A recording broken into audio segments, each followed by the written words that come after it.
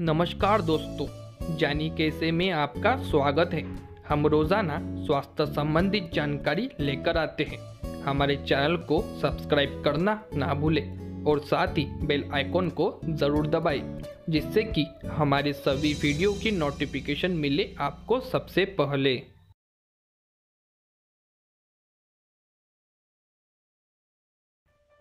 इनमें से पहली चीज़ है मीट।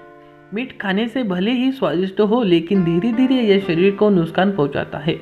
इसके साथ ही धूम्रपान करना और अल्कोहल का सेवन करना भी सेहत के लिए बहुत हानिकारक होता है।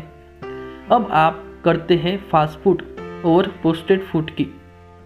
ये दोनों चीज़ें भी पुरुषों को सेवन नहीं करनी चाहिए, ये चीज़ें बहुत टेस्टी होती है और आसानी से हर जगह मिल जाती है, लेकिन इसके सेवन से पुरुषों की शारीरिक क्षमता कमज़ोर होने लगती है। इसके साथ ही कुकीज़ और डोनट्स जैसे चीज़ें भी बिल्कुल नहीं खानी चाहिए।